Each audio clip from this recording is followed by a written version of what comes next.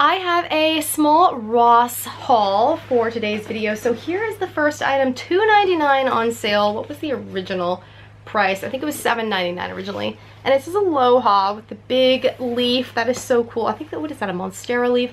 And it's made out of like a pink terry towel material. So I'm not as quite as sure about the fabric, but I thought that was a pretty good deal and it is cute for beach vacations. I had seen this at another Ross and it was smashed, but I love these Danish cookies and it has the Peanuts character that Vaughn especially loves. Thought this would be really cute for Halloween. $3.49, so pretty good deal, and I love those cookies. And this is kind of a fun item. This was on sale for $7.49, and it hangs on the wall to the side like this so it looks like he's crawling up the wall. We went to the Blue Iguana restaurant in um, Salt Lake City, Utah, and this kind of has a southwestern design on it even. So what we're gonna do is paint it blue and put it in our tiki bar to remind us of the Blue Iguana restaurant, which is one of Vaughn's favorite restaurants in Salt Lake City.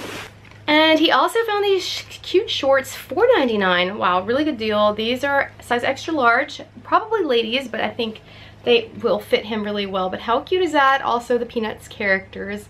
And that would just be really cute for the beach, I think.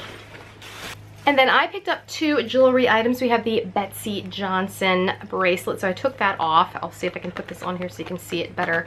But I love all of these bright stones. And then it has a pearl. So I thought this would be really, oh, there we go. Got it to focus. I thought this would be really fun maybe for my birthday or something like that.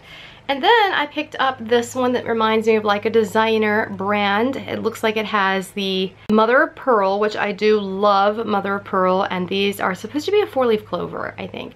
But yeah, that is everything. I think this one looks like it's pretty well made and I think it'll fit me too because I do have kind of small wrists. If not, I can take something out, probably take a link out. But yeah, really cute. So that is everything for today's Ross haul.